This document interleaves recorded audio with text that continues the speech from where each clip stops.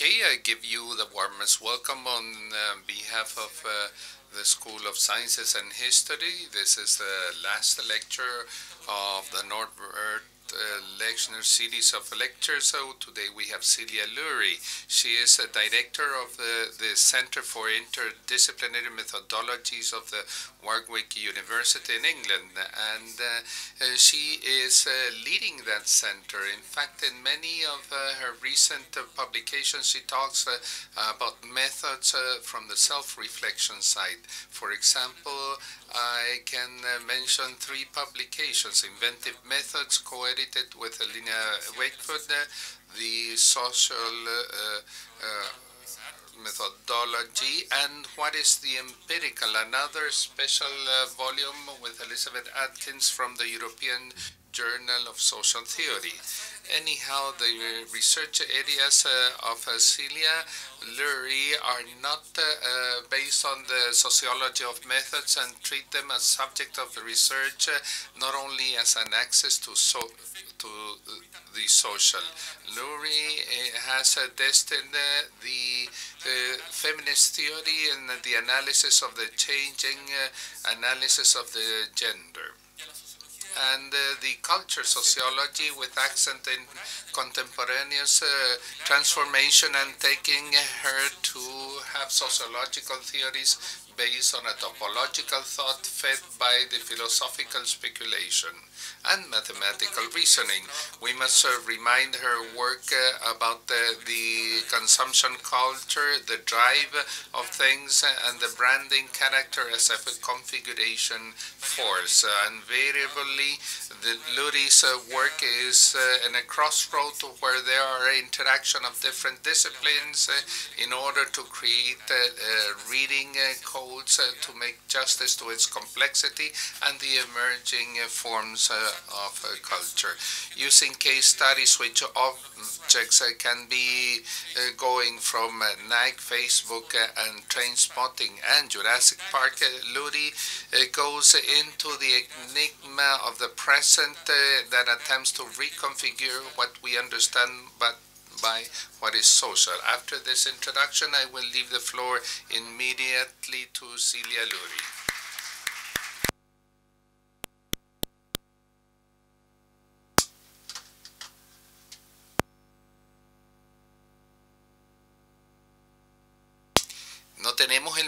Encendido. Muchas gracias. Eh, eh, lamento no escuché la traducción, pero en todo caso quiero agradecerles a todos por la invitación de estar aquí y contribuir a esta serie tan prestigiosa de eh, charlas y, espero que mis alumnos de PhD podamos construir una relación entre Warwick y la UDP. Muchas gracias eh, por la invitación.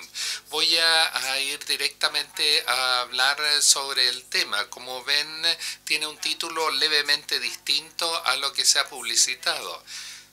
Solo hacerlo, lo social, somos nosotros, pero lo social es lo nuestro.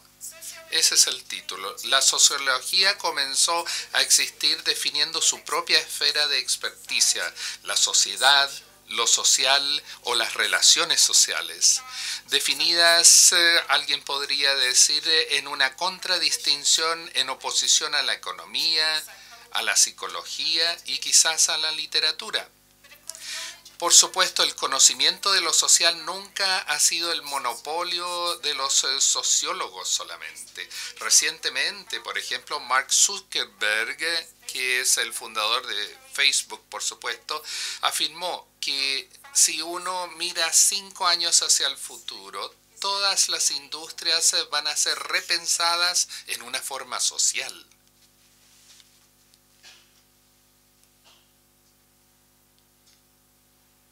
Ahí. Esto es lo que dice, justamente aparece ahí. Y si miramos hacia cinco años en el futuro, todas las industrias van a ser repensadas en una forma social y tenemos que saber cuál esa es la forma social. Por supuesto, conocemos el término de medios sociales, pero también conocemos los emprendedores sociales, redes sociales, innovación social, etc. Este trabajo entonces va a haber distintos dispositivos contemporáneos y sus prácticas asociadas, especialmente la marca global Nike, Cloud, que es una medición de la influencia de los eh, medios sociales, y Facebook, para tratar de ver el desafío que se presenta hoy a la comprensión de los sociólogos eh, del tema, o sea, lo social o las relaciones sociales. Y el artículo trabaja con una breve descripción de tres ejemplos y espero que nos iluminen eh, los contornos emergentes de la nueva forma social que nos describe Zuckerberg. Y los tres ejemplos muestran que es un análisis sintomático más que uno conclusivo. Pero surge la pregunta de qué enfoque sociológico de esta nueva forma social es el que se debe usar. El foco hoy es eh, en reconfigurar las preocupaciones sociológicas antiguas, preocupaciones de la movilidad social y su valor, diferenciación, inclusión, exclusión y pertenencia. Y esto lo hace a través del título que he dicho, lo social somos nosotros, pero es lo nuestro. Entonces vamos a comenzar con la marca Nike. En mi trabajo anterior eh, traté de desarrollar un eh, análisis sociológico, no de marketing, con respecto al branding. Y dije que la marca es un objeto nuevo de los medios, un objeto abierto y complejo. ¿Y por qué digo que es un objeto? Varios... Eh, autores proponen que hoy estamos experimentando no tan solo un aumento en la cantidad de objetos, sino que estamos experimentando una transformación de lo que es un objeto. Los objetos hoy día, se ha dicho, son incompletos en el sentido tanto de aparecer continuamente en nuevas versiones y también estar abierto, requerir, requerir de una participación de sujetos para completarse. Por ejemplo, como parte de su análisis de lo que llama lo postsocial, eh, la socióloga Karen Norcetina propone que los objetos ya no describen cosas discretas, fijas de la naturaleza, sino que lo contrario, porque se caracterizan por un carácter cambiante y que se despliega. Sony, por ejemplo, fabricó más de 700 versiones del Walkman, ¿no? Los farmacéuticos, los cosméticos como la aspirina o el champú están disponibles en distintos formatos y por supuesto los celulares y los computadores siempre se están actualizando. Y por supuesto, eh, quizás eh, se personaliza Coca-Cola con nuestro nombre en la botella, ¿no? Y como dice Norcetina, los objetos faltan eh, o requieren objetividad, no son fijos o estáticos, sino que constantemente están en una condición de transición y transformación. Norcetina también dice que los objetos cada vez hacen más demandas relacionales sobre nosotros como sujetos. Dice que las socialidad no humana o basada en los, los objetos eh, eh, penetran algunos de los sitios más importantes del poder de la sociedad contemporánea, por ejemplo, la bolsa de comercio, el gobierno y otras prácticas mundanas. Describe la relacionalidad entre los sujetos y objetos en términos de una afinidad continua entre sujetos que conciben como estructuras del deseo y objetos eh, que despliegan cosas. Y desde otra perspectiva, Bruce Sterling, que, es un escritor de ciencia ficción y un crítico cultural, sugiere que los objetos hoy pueden ser descritos con lo que se llama spime, que es una palabra eh, inventada en inglés, ¿no? Dice, los objetos son un conjunto de relaciones eh, siempre y en primer lugar, y un objeto ahora y luego. SPIME son datos en ambientes computacionales que se diseñan, accesan, se administran y reciclan en objetos. Entonces, eh, esto no es tan solo ciencia ficción. Quiero mostrarles el ejemplo que quizás eh, conocen, el movimiento Fab Lab, que es eh, el concepto de SPIME en existencia. Un Fab Lab, que es un laboratorio de fabricación, es un taller de pequeña escala que ofrece una fabricación digital y está equipado con una red de herramientas controladas por computador flexibles que cubren casi cualquier cosa. Y como dice Norcetina, Sterling enfatiza la importancia incrementada de relación con los objetos. Dice, no me preocupa sobre tener cosas, no me preocupa tener cosas, me preocupo mucho de relacionarme con las cosas. Pero debo decir ¿Cuál es el problema en esta preocupación sobre relacionarse con los objetos? Quizás, tal como sucedía en el pasado, nuestras relaciones con los objetos nos dicen algo sobre nuestras relaciones eh, entre nosotros. Por ejemplo, consideremos eh, como en relación a Nike, solamente just do it, o sea, lo hacemos, como ellos dicen. En la lingüística, un verbo transitivo es un verbo que requiere un objeto. Por ejemplo, en inglés, comprar, to buy, es un verbo transitivo. No tan solo compramos, compramos cosas, compramos objetos, ¿no? Compramos marcas. No tan solo hacemos, sino que lo hacemos. ¿Ven? Una marca como Nike no simple nos invita a participar diciéndonos just do it, solo hazlo, sino que también organiza esa participación. Y aunque quizás opera en términos de un mandato de que podría hacerlo en, vez de debes hacerlo, la invitación a participar, a hacerlo, es algo que cada vez es más difícil de rechazar. En este respecto, las marcas eh, no tan solo tan oblicuas eh, como obscenas, eh, como lo dice Baudrillard, sino que son obsequiosos, como lo diría Bourdieu.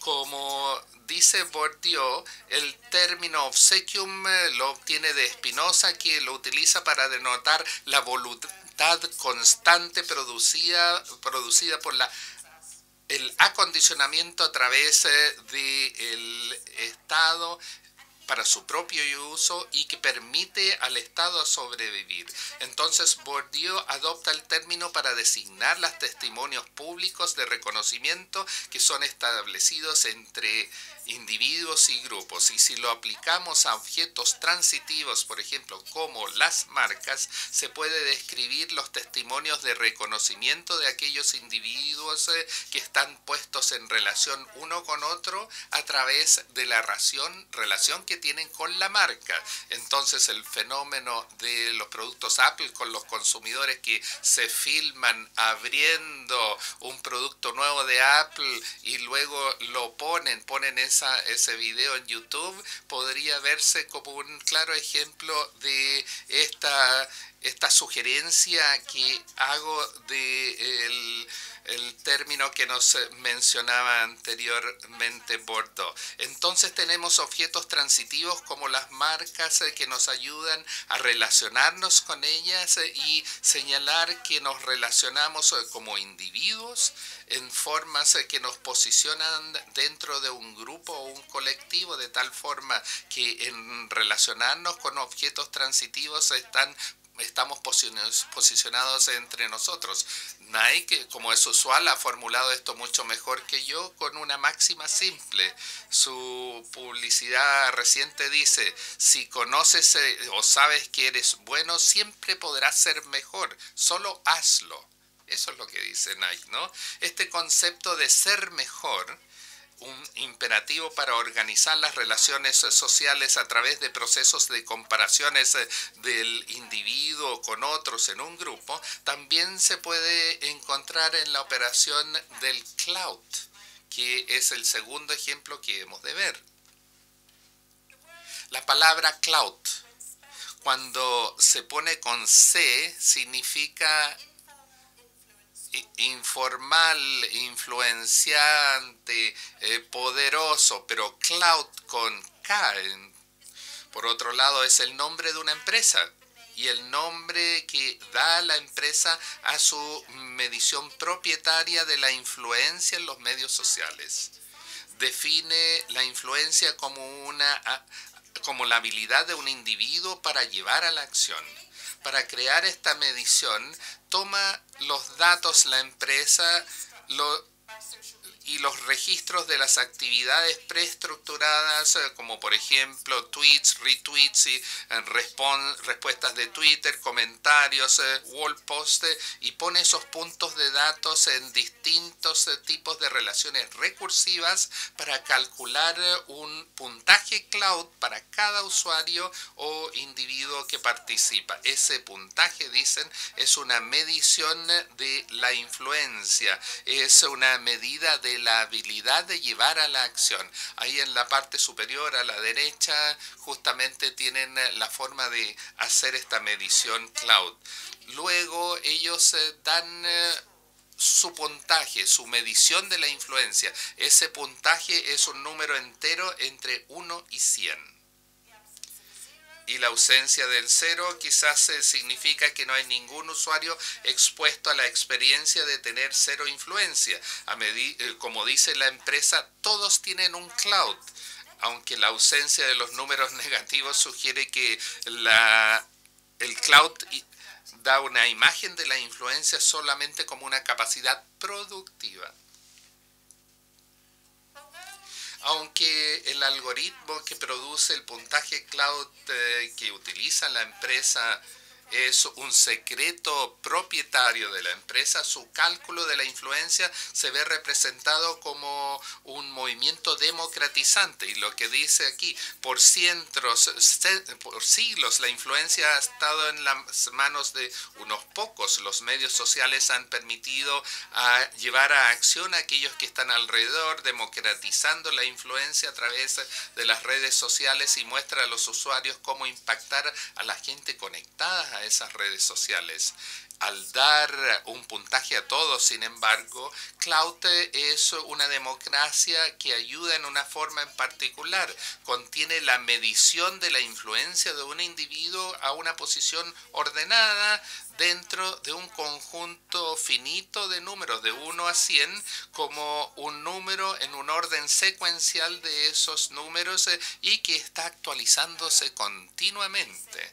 Ellos dicen, en la mayoría de las instancias su influencia no debería cambiar radicalmente de un día a otro. estar inactivos durante el fin de semana o tener un recreo no va a causar un impacto en el puntaje, pero si es que hay una inactividad más larga, el puntaje disminuye gradualmente.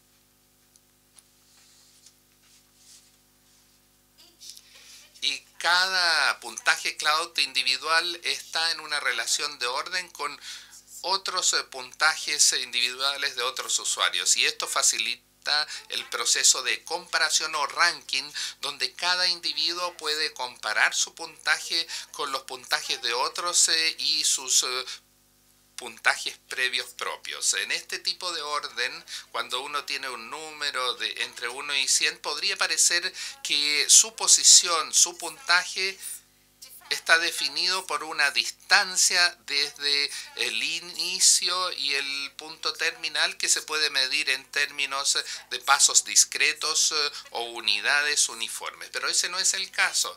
En el caso de Cloud, las distancias entre los puntajes crece exponencialmente mientras más alta la posición en la medición. Como dice aquí, el puntaje Cloud no es 50, más bien es eh, alrededor de 20. Y cada vez es más difícil aumentar el puntaje a medida que aumentamos eh, el puntaje. En una versión inicial de Cloud eh, solamente el eh, Justin Bieber recibió un puntaje de 100 y cuando chequeé la semana pasada tenía un score, un puntaje de 92, mientras que Barack Obama tenía un puntaje de 99. Y este cambio es en parte porque se da una mayor ponderación a lo que se llama la influencia fuera de línea. Pero el punto más importante que quiero resaltar es que la no es simplemente la distancia eh, o el puntaje individual el que cambia, sino que la distancia entre cada puntaje, entre el 92 y 93 y el 93 y 94, lo que está cambiando constantemente. O sea, no hay un puntaje fijo como que hubiera una medida de distancia entre el 92 y 93 y 93 y 94. Los intervalos, por lo tanto, no son uniformes. Constantemente están alterándose, están estirándose, de acuerdo al algoritmo, por supuesto, pero también de acuerdo a, los, eh, a las actividades de los otros usuarios, de ustedes y los otros usuarios.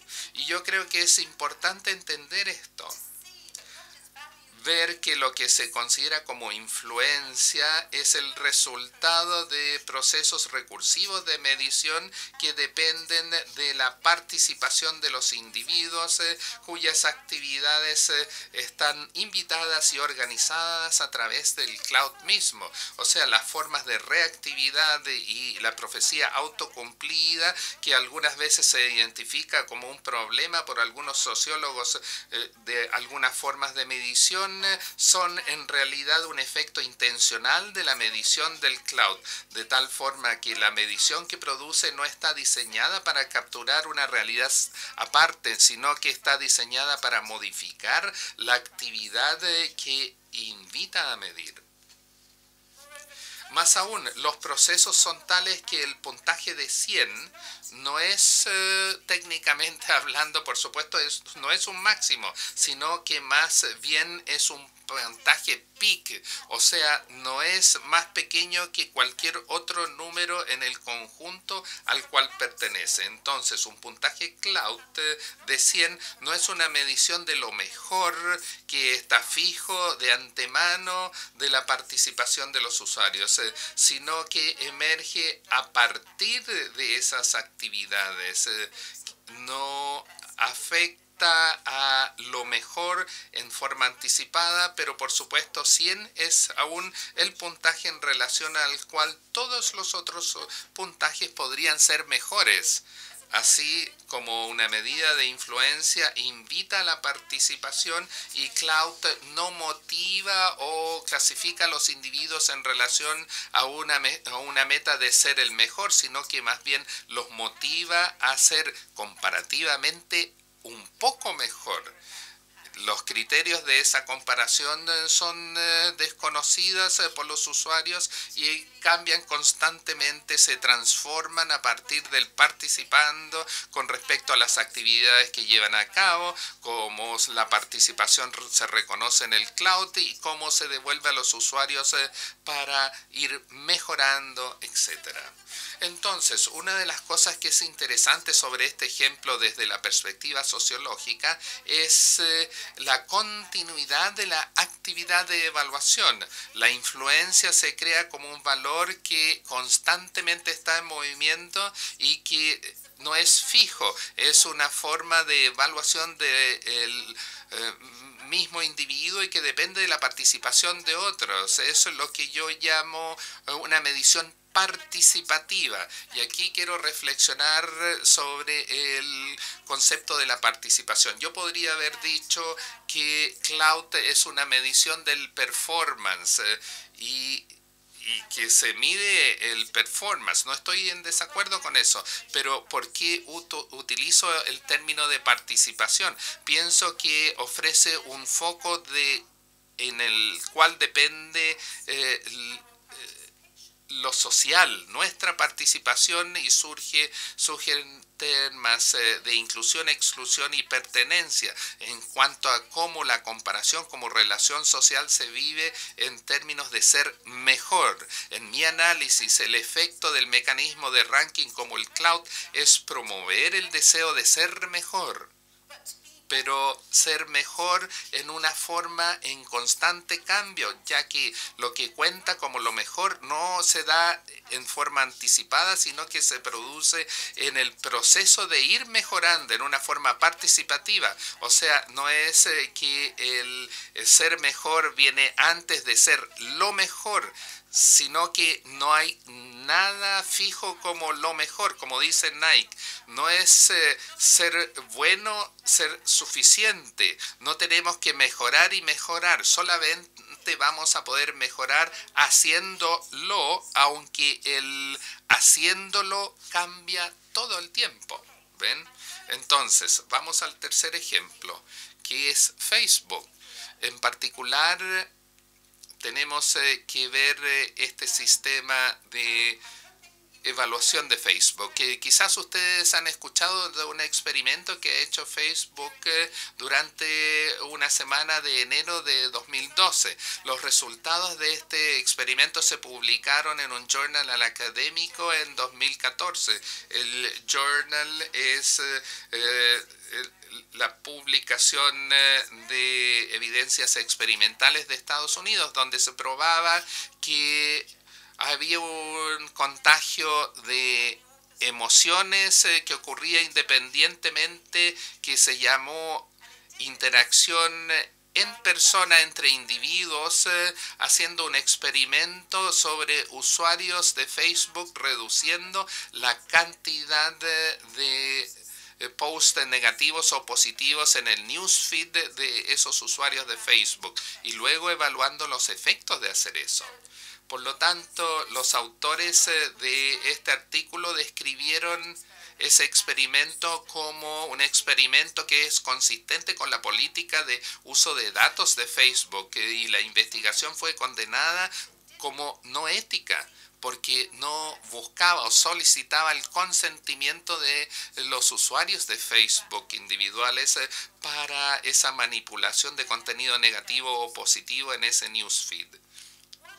Una razón eh, por qué los autores mismos no pensaban que su experimento no era ético, era que Facebook rutinariamente hace uso de lo que se llama EdRank y su algoritmo que se utiliza y desarrolla para desarrollar lo que ha aparecido en Facebook eh, en eh, un newsfeed de, un usuario de Facebook en particular. Ellos dicen, qué contenido se muestra o omite en el newsfeed se determina a través de un algoritmo de ranking que Facebook eh, desarrolla continuamente en el interés de mostrar a los eh, usuarios el contenido que encuentran como más relevante. Y justamente esta prueba se incluye en este estudio. Ellos siempre están utilizando algoritmos que manipulan lo que se pone en el newsfeed. O sea, no pensaban que necesitaban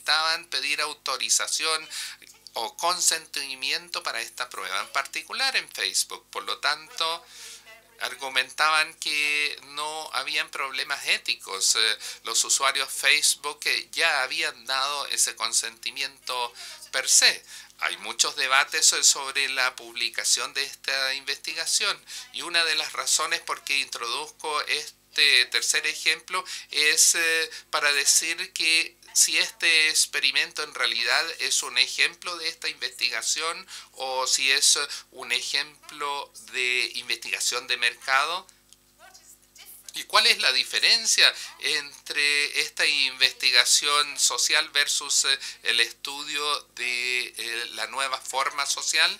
Y es eh, intrigante para mí ver que esta investigación que provee evidencia de un tipo en particular de racionalidad o contagio de racionalidad y que no desde no involucró ninguna variación en las prácticas de esa empresa desde mi punto de vista porque Facebook siempre manipula el ranking de los usuarios porque llegó a tener una crítica por esa investigación. Nosotros más bien eh, veremos eh, que Facebook eh, manipula los newsfeed para ganar dinero o para hacer investigación o quizás es una perturbación cuando parece que estas dos actividades eh, pueden ser una sola y una misma actividad.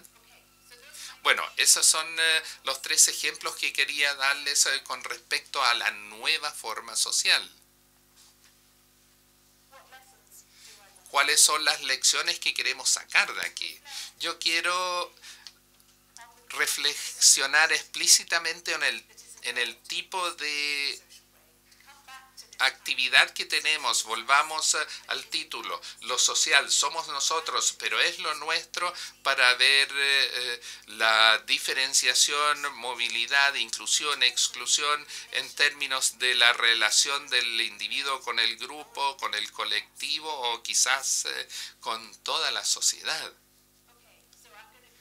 Y vamos a, volver a esas preguntas en forma explícita ahora con eh, mis ejemplos una vez más. ¿Qué pasa con la movilidad social ahora? Mis ejemplos, eh, pienso yo, sugieren que actualmente se nos está invitando a, realizar eh, la movilidad eh, como un proceso dinámico, participativo, donde el valor es una frontera inventiva. Voy a tratar de explicar esto volviendo al ejemplo de los rankings. En el caso del cloud, a ver, no, no, no aparece, vamos a ir a esa misma. En el caso del cloud, yo sugerí que producir un puntaje de cloud involucraba una prueba recurrente de los participantes en relación a criterios múltiples, a intervalos recurrentes y eh, por lo tanto este era un proceso interactivo continuo. Y esto causaba un orden exponencial donde la diferencia se califica y luego ese resultado se pliega de vuelta hacia la próxima etapa del proceso del orden. Ese es un concepto del ranking. Y el ranking podría contrastarse con el concepto fijo de estado o ranking donde, eh, por ejemplo, podríamos eh, contrastarlo con eh, el concepto de ranking o estatus vinculado a ideas de meritocracia y asociado con el supuesto de un o un campo de fuego, juego justo o plano. Bueno, este es un tipo distinto de ranking el que sugiero, una movilidad distinta, un tipo distinto de competitividad. Este es un ranking donde tenemos que correr para quedarnos fijos. Ahora, piensan eh, que eh, Cloud es un eh, ejemplo mundano, pero yo debo decir eh, mucho sobre la importancia del ranking en muchos campos, por ejemplo, en eh, el nivel crediticio de una persona o en el ranking en el campo de la educación, donde por lo menos en el Reino Unido, como los padres eligen a las escuelas donde quieren ir los niños y cómo el gobierno asigna los dineros a las universidades, se ve determinado justamente por los rankings, ¿no? Entonces, eh, el ranking, sugiero yo, tiene una significancia muy poderosa en la movilidad social. El cloud es tan solo un ejemplo. Hay otros ejemplos una vez que comenzamos a buscarlos. Eh, son nuevos tipos de ranking, básicamente. Luego, si es que vamos al tema de los procesos de diferenciación social, quiero volver a la invitación a ser mejor. Y quiero decir que la motivación para ser mejor no se confina a Nike o Cloud solamente. En el Reino Unido tenemos una cadena de entretención que se llama Better También hay una empresa de seguros nacional que se llama More Than, más que. También hay una empresa farmacéutica canadiense que tiene una gama de productos que se llama Be Better, sé mejor. Una, la empresa de ropa Timberland actualmente tiene una línea de publicidad que dice... Eh, lo mejor antes, mejor ahora. El iPhone 6 se describe cada vez más grande, de eso se trata, ¿no? Y Sky, que es la empresa de telecomunicaciones de Murdoch, eh, nos eh, dice a todos que debemos creer en ser mejor. Y en mi camino acá pasé a, través de la empresa telefónica que tiene el eslogan Sé más, be more. ¿Ven? No es... Eh, eh, un proceso comparativo donde lo mejor está fijo de antemano, más bien es un proceso continuo de ir mejorando, no está confinado tan solo a, Nike o a Cloud. Y en este contexto podemos reflexionar si es que el mandato de ser mejor significa que como individuos eh, podemos nunca estar seguros de ser buenos o suficientemente buenos o incluso ser mejores. Necesitamos ser mejores que mejores eh, como este exhorto organiza los grupos sociales y cómo afecta la diferencia que viven los individuos. Y yo creo que en muchas formas eh, este tipo de forma participativa de diferenciación se puede describir como un ejemplo lo que el antropólogo Gregory Bateson llama esquismogénesis, eh, que Bateson eh, utiliza para describir la reproducción continua, la confirmación y la intensificación de la diferencia en tales eh, que llevan a más diferenciación más intensiva y progresiva entre grupos o individuos. Si volvemos al ejemplo de Cloud, podemos ver que alimenta un ranking que simultáneamente crea relaciones de igualdad y diferencia entre los usuarios de medios sociales, conectándolos a ellos con otros influenciadores y a la vez demarcando diferencia entre ellos, ubicándolos en relación uno con otro en términos de su posición relativa. Esta dinámica quizás no siempre tiene que llegar, llevar al antagonismo al conflicto, pero puede hacerlo. Bateson mismo da un ejemplo de esto, donde eh, muestra abajo, si por ejemplo los patrones X, Y, Z incluyen la jactancia, podemos ver que hay una probabilidad, si la jactancia es eh, la respuesta a la jactancia, de que cada grupo llevará al otro a un énfasis excesivo del patrón, llevando a una rivalidad extrema y finalmente a una hostilidad y descomposición de todo el sistema. Y aquí me gustaría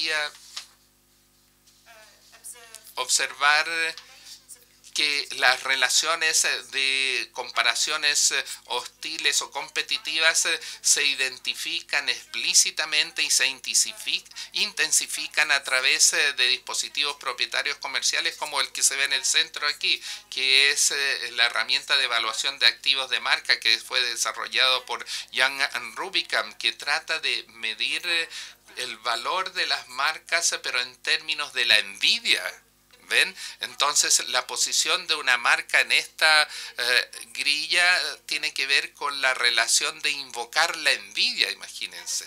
Entonces, como he dicho, estas herramientas no se tratan tan solo de medir, se tratan de intensificar, desarrollar lo que miden. Este, este es un dispositivo que permite que a los dueños de las marcas eh, se les dé la posición en relación a la envidia y decidir si es que se debe debe intensificar la envidia o no, introducir esta relación comparativa de ser mejor, entre comillas, eh, y provocar la envidia en un mercado a través de las formas eh, de cómo están posicionadas las marcas en un mercado.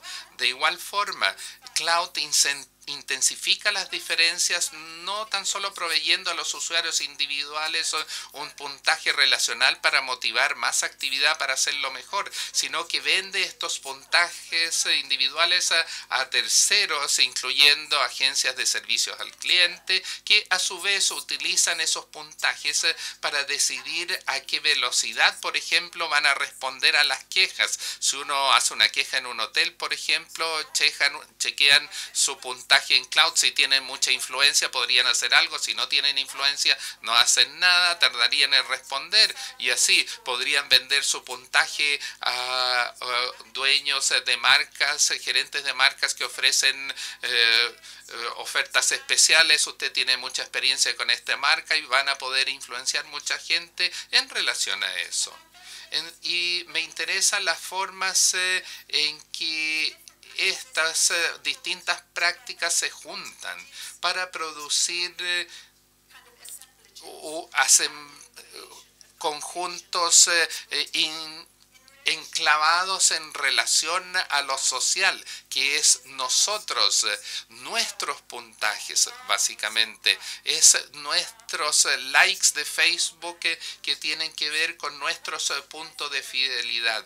Y, y, en una forma especulativa podría decir que en cierto sentido estos puntos de cloud son como quizás eh, criptomonedas muy parecidas a los bitcoins eh, que dan quizás eh, un derecho a propiedad, un derecho a propiedad comercial en las relaciones sociales que el dueño de la marca, de la empresa puede establecer cuál es la tasa de cambio de esa moneda.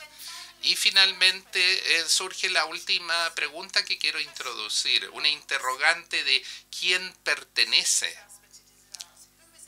quién se incluye, quién se excluye, cuáles son las relaciones sociales donde hacemos eh, que surja la sociedad. Patricia Clough eh, sugiere que podemos investigar eh, esta nueva forma social en la idea de una forma matemáticamente abierta de sociabilidad. Quiero dar un ejemplo de qué quiere decir refiriéndome al trabajo de Jane Geyer, la antropóloga, que discute eh, el tema de los porcentajes. Ella señala que 100 es la cifra que históricamente se ha utilizado para indicar eh, un todo, algunas veces eh, el todo de la sociedad.